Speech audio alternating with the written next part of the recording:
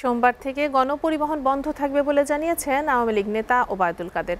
সকালে ধানমন্ডিতে দলের সভাপতি, রাজনৈতিক কার্যালয়ে করোনা প্রতিরোধ সামগ্রী বিতরণ অনুষ্ঠানে তিনি একথা জানান।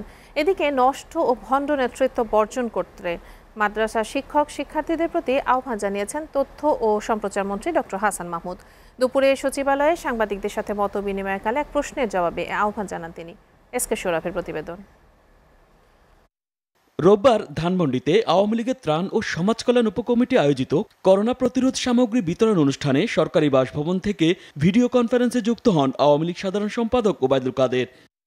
জীবনের চাইতে জীবিকা কোনোভাবেই বড় নয়, উল্লেখ করে সোমবার থেকে শুরু হওয়া লকডাউন কার্যকর করতে সংশ্লিষ্টদের প্রতি আহ্বান জানান তিনি।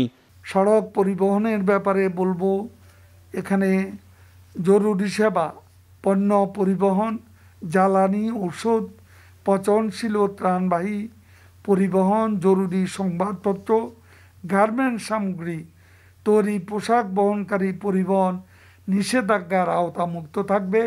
যাত্রীবাহী পরিবহন কোনো অবস্থা কোথাও চলতে পারবে না।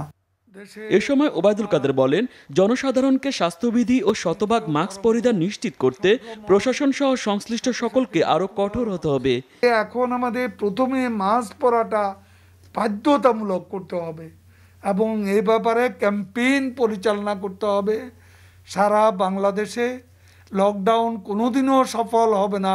যতদিন না আমরা এই স্বাস্থ্য সুরক্ষার ব্যাপারে আরও আমরা কঠোর কঠোরতা অবলম্বন না করি। এদিকে নিজ মন্ত্রণালয়ে কেবল অপারেটর নেতাদের সাথে বৈঠকের আগে সাংবাদিকদের সাথে মতবিনিময় করেন তথ্য ও সম্প্রচার মন্ত্রী ডক্টর হাসান মাহমুদ। পরে আমাদের কর্মকর্তাদের সাথে বসে এই সময় হেফাজত নেতা মামুনুল হক সহ সমসাময়িক রাজনীতি নিয়ে সাংবাদিকদের নানান প্রশ্নের জবাব দেন তিনি। বিষয়টা ইসলামকে হেফাজত করাও নয় বরং ধর্মকে ব্যবহার করে রাজনৈতিক উদ্দেশ্য হাসিল করা এবং দেশে একটি বিশৃঙ্খলা তৈরি করা। আমি এজন্যে মাদ্রাসা শিক্ষক, শিক্ষার্থীদের অনুরোধ জানাব, এই সমস্ত নষ্ট এবং ভণ্ড নেতৃত্বকে বর্জন করার জন্য।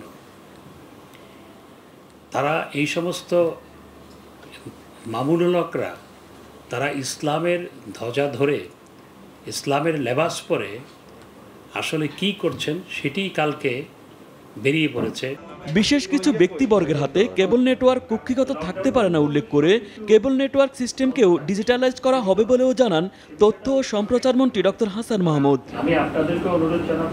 S K Sourav STV Dhaka. প্রিয় দর্শক জাতীয় এবং আন্তর্জাতিক সবশেষ সংবাদ জানতে ভিজিট করুন এসএটিভির ওয়েবসাইট www.sativ.tv-তে বিনোদনমূলক অনুষ্ঠান উপভোগ করতে সাবস্ক্রাইব করুন আমাদের YouTube channel YouTube dot com slash বিডিতে যেখানে নিয়মিত কমেন্টস করে জানাতে পারেন আপনাদের মূল্যবান মতামত। এছাড়াও এসএটিভির বাছাইকৃত সংবাদ দেখতে ইউটিউব ডট কম স্ল্যাশ নিউজে সাবস্ক্রাইব করে বেল আইকনটিতে ক্লিক করে সাথেই থাকুন। প্রতি মুহূর্তে সর্বশেষ তথ্য ও বিনোদন পেতে লাইক দিয়ে যুক্ত থাকুন আমাদের Facebook page Facebook dot com slash SATV বিডিতে SATV সাথে আছি সবসময়।